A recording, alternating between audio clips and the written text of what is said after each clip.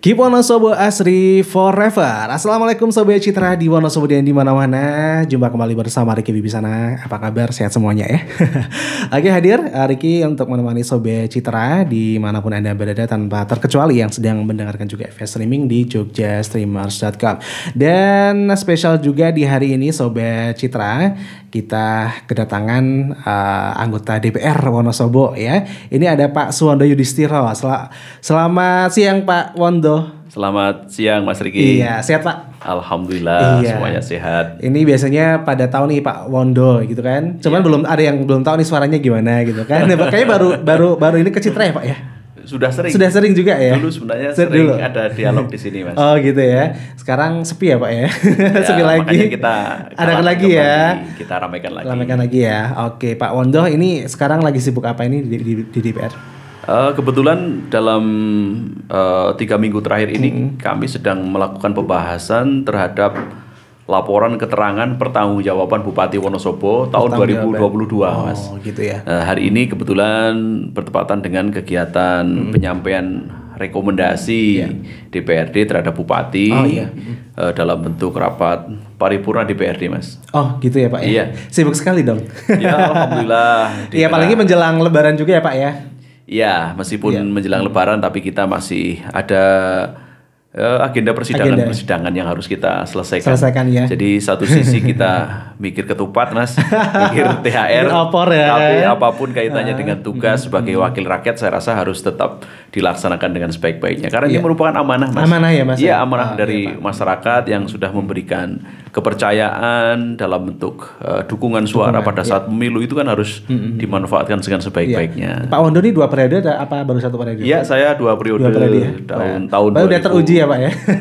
2014, Insya Allah ya. 2019, 2019 sampai sekarang. Sampai sekarang ya.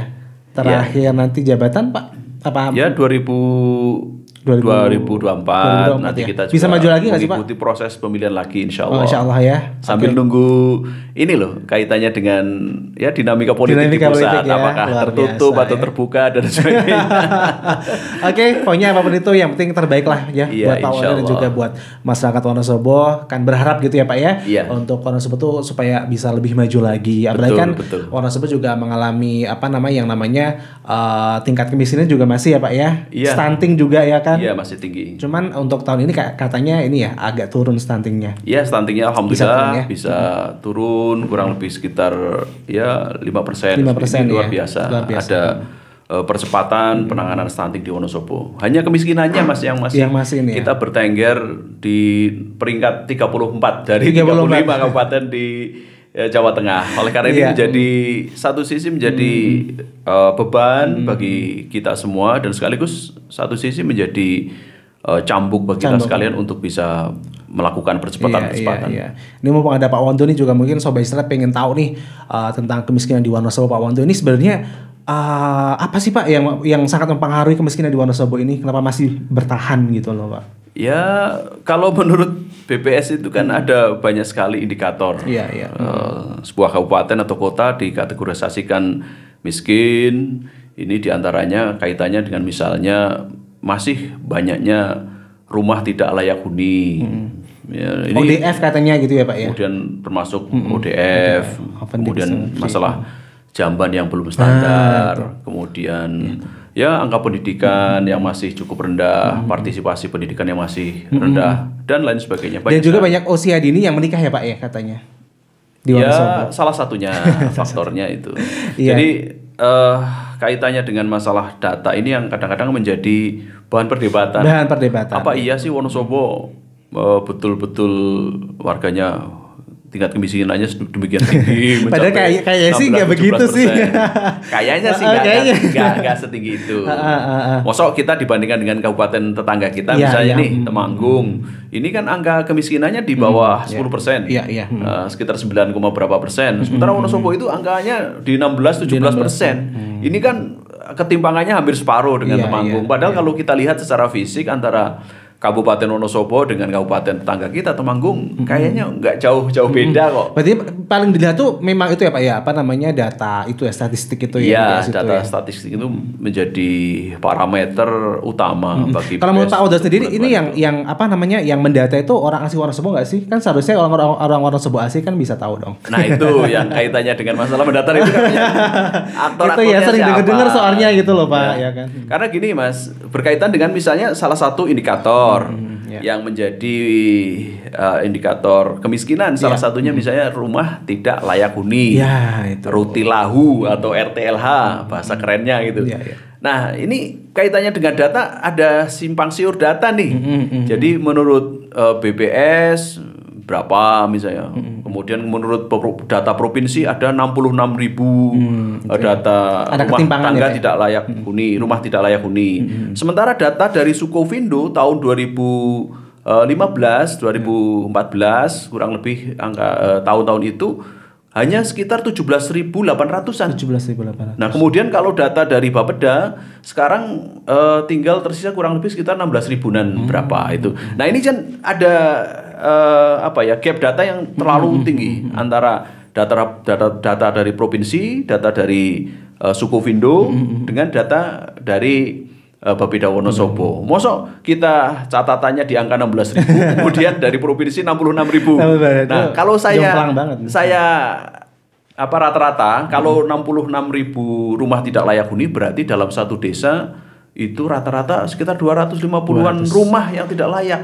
Wah, itu kan tinggi sekali. Iya. Nah, tapi kalau di angka ya di bawah dua puluh ribu masih masuk akal Masih lah, akal, masih di angka 16 ribu, 15 ribu itu eh, setelah ada pengurangan pengurangan melalui program eh, RTLH, anggaran dari kabupaten, kemudian RTLH dari provinsi maupun RTLH dari pemerintah pusat. Itu kan setiap tahun ada. Ada ya. Ya kan? Seharusnya kan berkurang. Masa kemudian datanya tetap saja dan sebagainya. Ini kan Iya, iya, makanya perlu dilakukan evaluasi kaitannya dengan eh, data ini. Perlu ada check and recheck kan begitu. Gitu ya Pak ya. Untuk ini pemerintah Wonosobo dan mungkin juga anggota DPR Pak ini yang yang sudah dilakukan apa sih Pak untuk untuk apa mengurangi kemiskinan di Wonosobo Pak dengan adanya data-data tadi ada yang jomplang ada juga yang yang belum diketahui mungkin ya. Gitu. Ya tentu yang paling penting eh, kita harus melakukan penyelarasan terhadap Penyelarasan, ya. data terlebih dahulu kan harus ada kesepahaman sesungguhnya itu, eh, data tentang RTLH yang harus ditangani berapa ya kan? Ya. kemudian misalnya eh, keluarga prasejahtera berapa anak yang putus sekolah berapa dan sebagainya harus by name by dress ya kan? Bahasanya harus di zoom ya jadi di, di zoom. Supaya Ya, ya. apa? Supaya kebijakan daerah itu nanti akan tepat sasaran Ah, ah, ah, ya kan? Ya, ya, tidak ya. gedapiah Iya betul yang Pak. mana eh, kecamatan-kecamatan yang belum ODF misalnya. Masih ada masyarakatnya yang buang air besar Nah, sembarangan dan sebagainya ya kan? Ya. mana eh, desa-desa yang tingkat kemiskinannya masih tinggi mana yang angka pendidikannya masih rendah mana yang RTH-nya eh, masih banyak dan sebagainya. Kemudian angka stuntingnya masih tinggi di de- desa-desa mana dan sebagainya. Diberikan tanda merah dan sebagainya sehingga program program pemerintah daerah maupun program pemerintah provinsi dan pusat nanti akan sifatnya fokus sehingga tidak gedabiah bahasa orang Jawanya. Iya iya.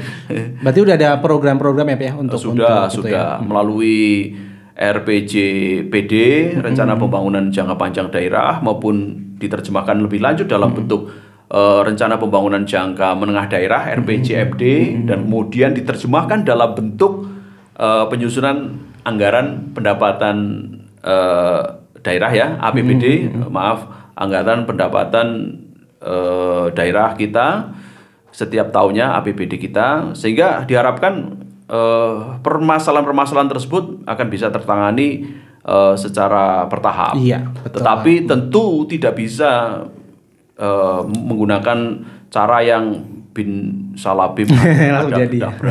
langsung karena permasalahan kita sangat kompleks. Betul banget. Pak, ya. Sementara anggaran kita sangat terbatas. Nah, itu. Mm-mm.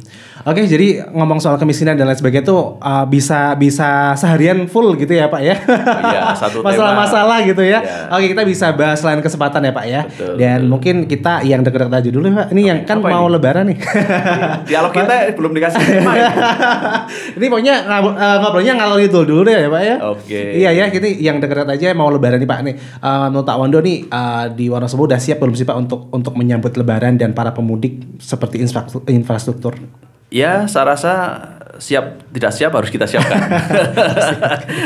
Pemerintah daerah misalnya ya sedang gencar-gencarnya melakukan pengaspalan jalan di tengah kota misalnya. Udah selesai, Pak? Belum. Belum ya? hampir, hampir, hampir. Kemudian melakukan penambalan-penambalan di ruas-ruas jalan antar eh, kecamatan dan sebagainya yang kemarin sempat menjadi keluhan warga dan Gitu ya, Pak, sebagainya.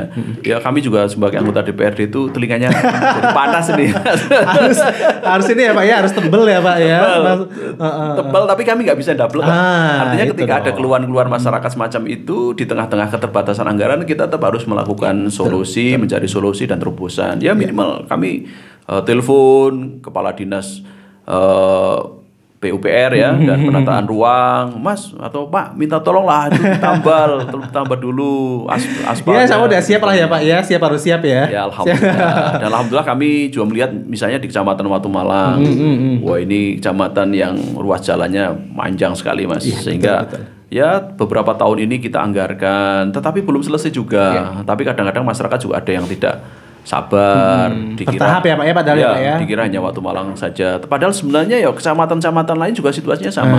Di Kalibawang masih ada yang rusak. Nggak usah jauh-jauh, Kali Kajar juga Pak, masih banyak juga rusak. jalan Kali Kajar juga masih ada. Bow- Bowongso itu temanya masih rusak.